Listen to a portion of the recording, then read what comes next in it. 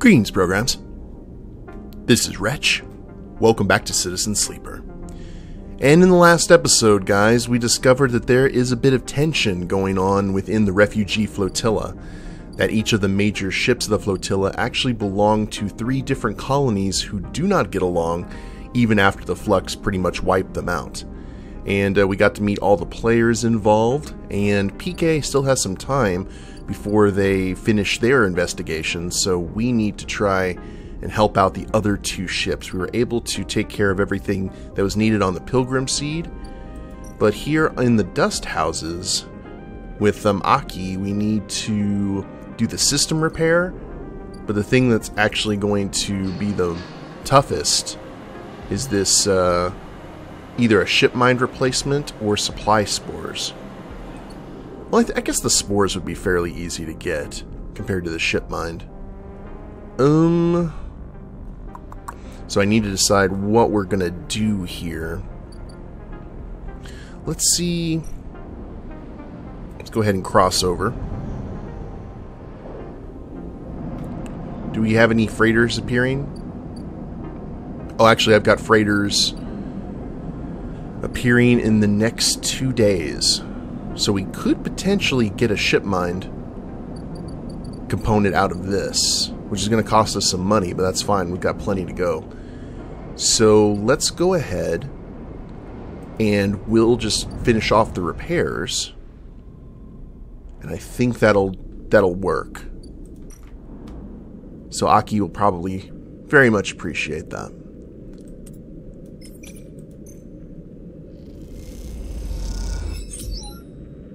You notice a bug in the wind cycling system and manage to fix it. Aki gives you a knowing look. Seems like you're proving yourself. let's keep that going.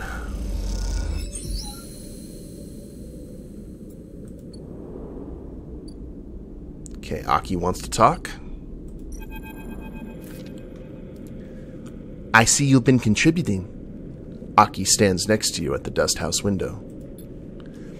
I was unsure what to expect when we joined the flotilla on its voyage to the Eye. But after the journey across the system, then the quarantine, and then the flux reaching all the way out here too.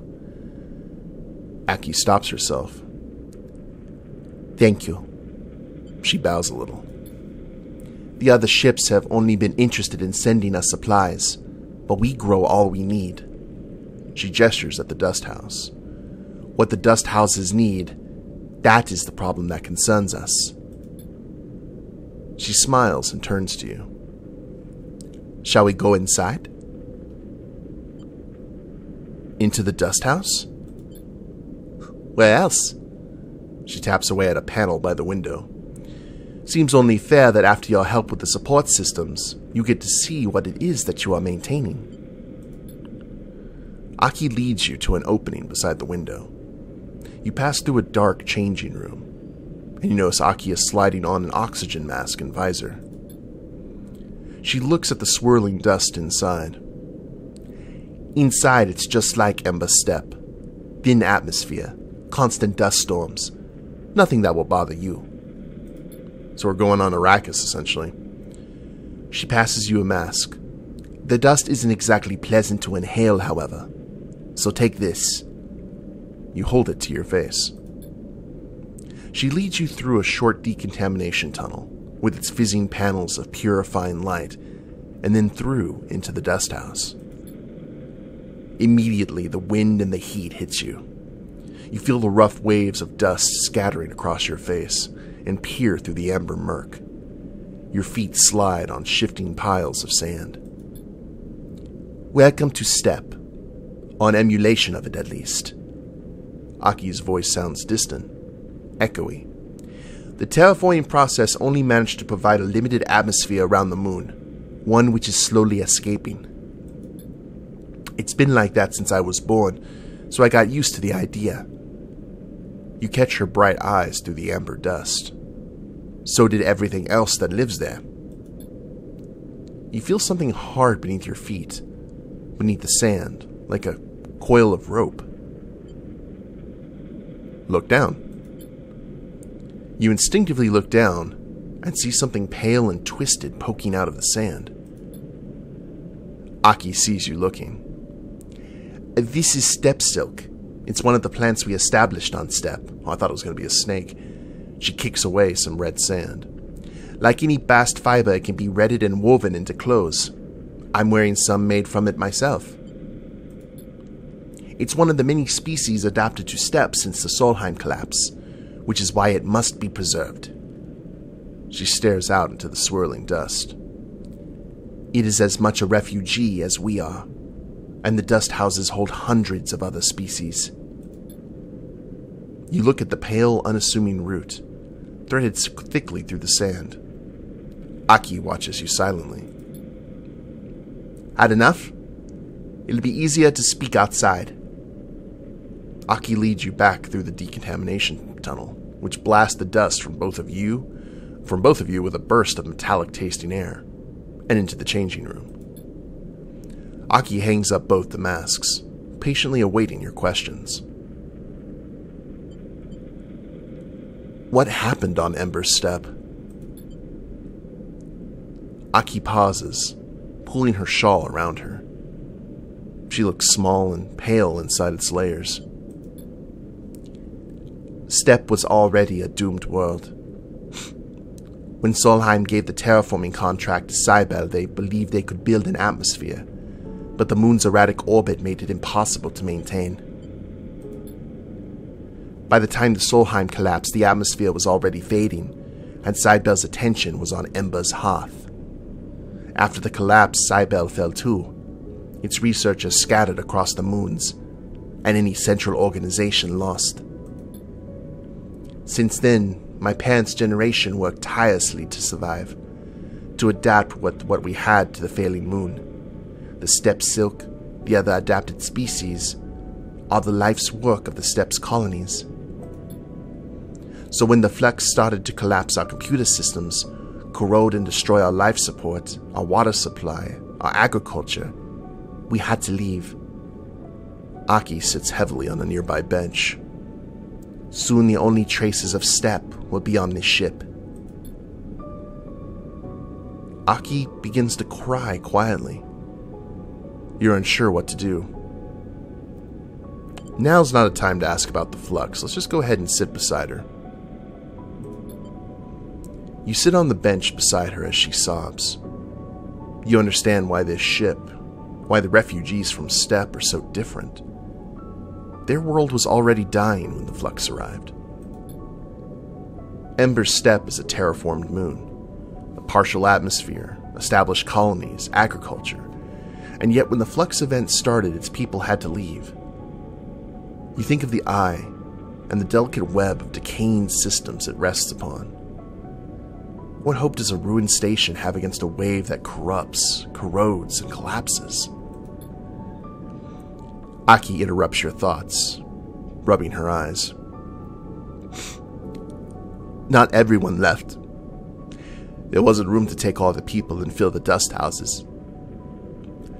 My parents, their friends, and, and many others stayed. We carry the step for them.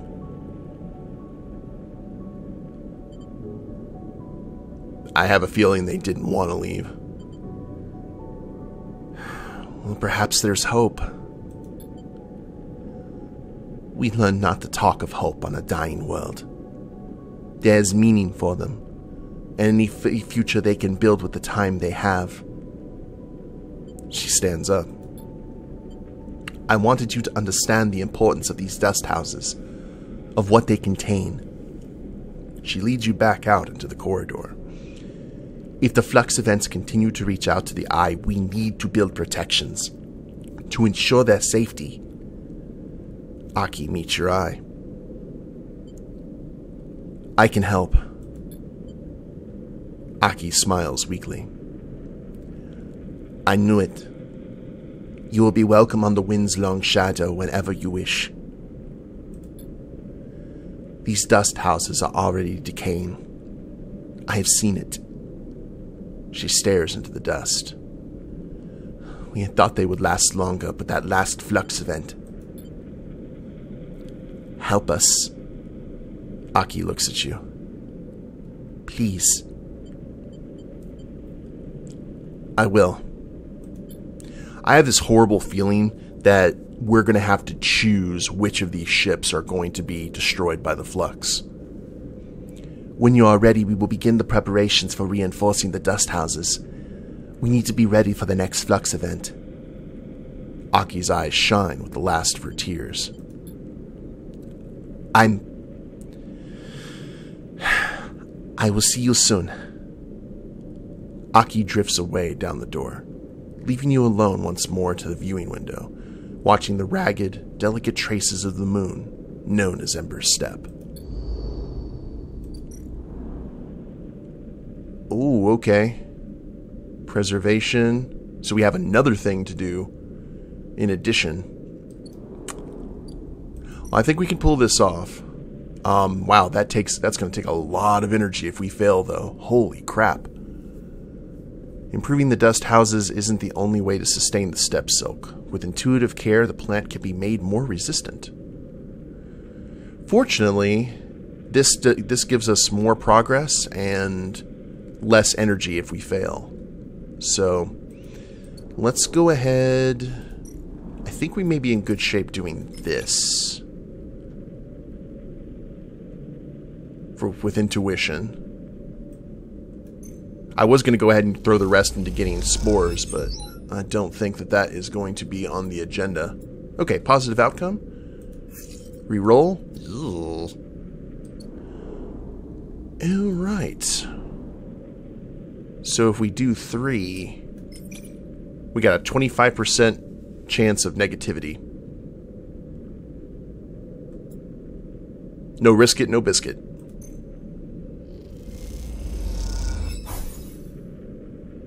Hey, I'll take it. You care for the step silk, trimming dead, se dead segments, feeding live ones. You start to understand its process and practices. Cool. I think that was a very productive day. We're going to have to wait till the freighters show up um, before we're able to fix anything over here. So that's going to be in two days, and then we'll have two days left before PK is done. So progress progress is happening for sure. Let's go ahead and get ourselves some some mushroom stew. We've got plenty of money, might as well use it. I'm wondering if we're going to get some more um, upgrades here. We've got two upgrade points. If we get three, we can knock another one of our um, skills up to a plus two, which would be pretty nice. And we don't have any more salvage anymore, unfortunately. I think those days are pretty much done. So we're going to have to start using our stabilizers. And I do have mushrooms we can add. There's just a lot to do. Alright, feed the cat.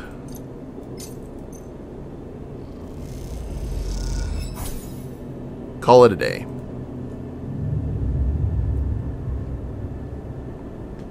I definitely feel the sympathy for um, Aki's people. Okay, got some good dice.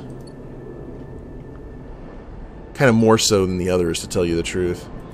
Because they were already struggling. They didn't come from a land of plenty. Very kind of salt of the earth. So, one, two, three, one, two, three. So three dice could be used for this.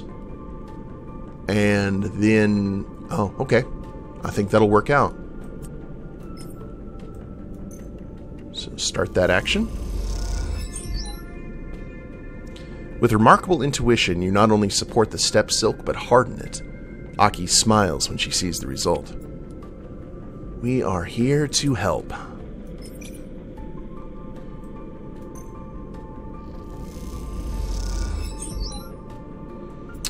And you know what? I think I'm going to go ahead and use this 3. Because that's going to get a neutral, um, no negative, and we'll keep that 6.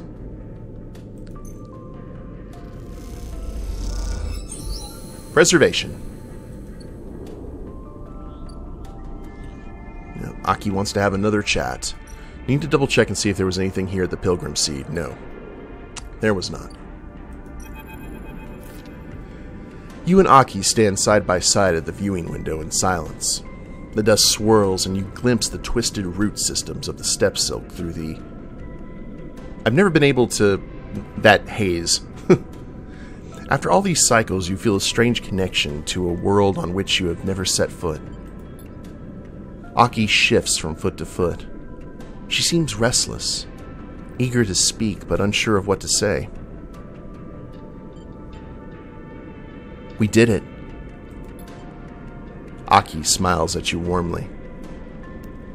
We did. She pauses and turns back to the window. What is the value of all of this? She asked suddenly. Of preserving a world we have left behind. History, heritage, or conservation? Hmm. Maybe heritage. I like, I like the conservation. That seems a more scientific answer, though. But heritage seems more in tune to like her parents. Heritage. Aki is silent for a moment. Our practices, our lives required the materials, the patterns that STEP provides. But if those practices remain unchanged while the universe around them shifts, aren't they already dead? She pauses. What is better? To preserve at all costs or to allow things to be destroyed by change? Aki paces away, lost in thought. I'm grateful to you for helping protect the dust houses for ensuring their slide into decay is delayed, even averted. But now I find myself at an impasse. The stability of the dust houses changes things. It makes me aware of how blinkered we have been. Aki stops to look at you. Her posture is somehow different. If the ecosystems of steppe, if its people cannot grow to meet the future, why preserve it? She frowns. Are we just slaves to the preservation of what came before?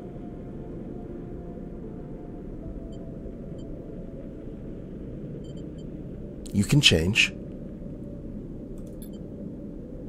Aki comes close, holds ha- your hands in hers. We must change. We must change to live. She smiles. I have seen that in you the steppe, these people, this ship, should serve more than heritage, than history. They should serve the future. She takes a breath. There are those in the flotilla that need clothes, that need food, that can benefit from the gifts of the steppe's ecosystem. I want you to invite them. Can you do that for me? Of, of course. I know that Saul sent you. She smiles. You can tell him Aki, captain of the wind's long shadow, invites all the people of the flotilla to come. Captain? She smiles. You never asked. Aki steps away. You want to know about the flux, no? About its purposes, its origins? She smiles. You wish to protect your home as we could not. I'm afraid I don't have much to tell you. It's an exotic wave of sorts, an energy that passes through matter. It shifts the very charged particles which run through our electrical systems. It is possible to shield against it, as you would radiation, as we have done with the dust houses, but only while it's weak. The flux event here was much like the first ones we felt on Ember Step localized, destructive but bearable. But in time, its strength grew. I don't know if it'll be the same here, but. She pauses. It is coming from the center of the system, from the close orbit of Hellion's star, H1, or Helion's. That is all we could uncover. She is silent for a moment unsure of what to add. I'm sorry I cannot offer more, but you are always welcome on this ship. She smiles. I hope I will see you when the others come. She squeezes both your hands. I hope that this ship, these dust houses, can be more than a museum. I hope they can be a home. With this, she turns and leaves. And you feel that word, home, resonating within you like a struck bell. Okay, got that one done. Let's see. Huzzah. So that gives us a little bit of wiggle room here. Um, what to do, what to do. Let's use, let's go ahead and harvest some mushrooms from the aviary. Well, we could do that. Or we should go, we could go ahead and collect some spores. I feel that that's probably the better option. Because we have three stabilizers. We don't necessarily need that right now. Let's go ahead and do that. That gives us four. We'll re-roll. And five, and I'll tell you what, let's go ahead and head over here to the wastes. And we'll gather some scrap. So we can do a little bit of our own repairs. Now, swing over here. And three spores.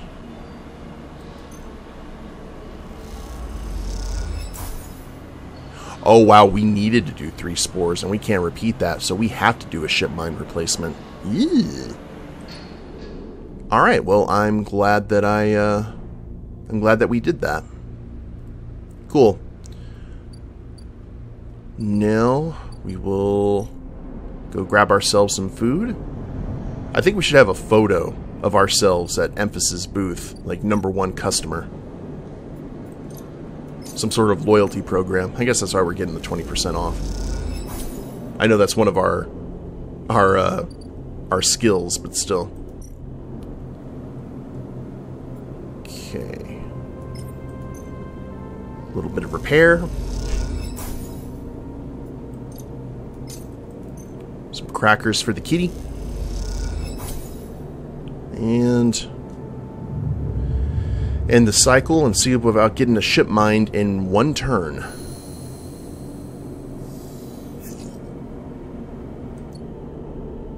Let's see. Because we've got freighters here on both. So let's do the... Man, those that haggle over prices. I know every time I see it, it bugs me, but... Bleh. Ship mind fragment. One. Two. Thank you, freighter. Pleasure doing business with you. Now, let's see about buying some scrap. And hope that we get another ship mind fragment. If we don't, we're going to be in a bit of... Oh, okay, there we go. Love it. Pickle of pickle avoided. And now to the Ord Exchange, right? New? Ord Fabricator. Aha!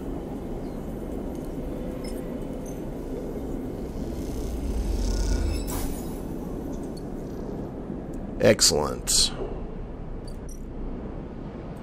Now we'll swing over. We may be able to just go ahead and use a lot of our points here, or a lot of our dice to uh, get scrap components, get ourselves back up to full. And I think we'll be in pretty good shape, all things considered.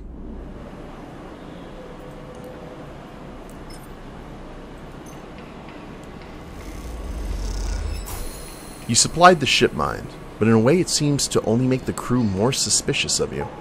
Well, we just can't win, can we? As you cross the axis, looking for a shuttle to take you back to the ruined cordon, you spot Peter, standing at the edge of the central hub. This guy has um, reminds me of what's his name, oh, I forgot his name off the top of my head. He's a comedian, and he was on like Rescue Me, but he was in um, Demolition Man, and he was like the leader of the resistance.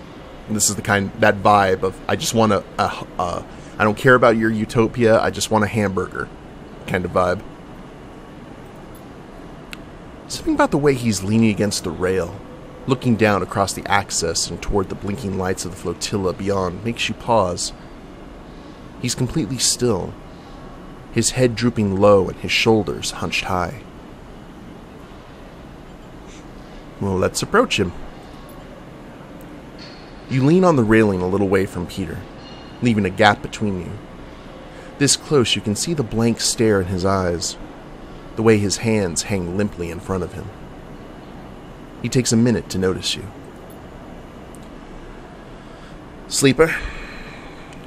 Still hanging around?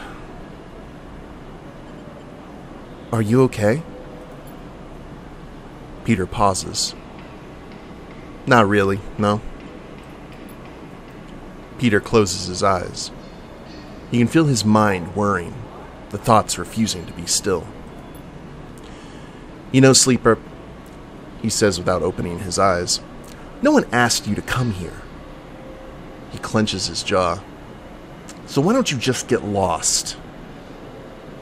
He looks directly at you, his stare a challenge. What's with you?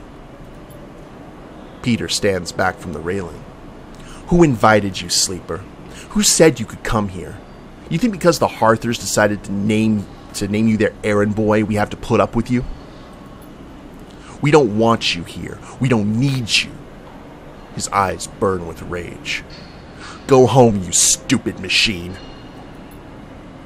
A second after he shouts that final line, he collapses in on himself, staying upright, but all the energy going out of his body.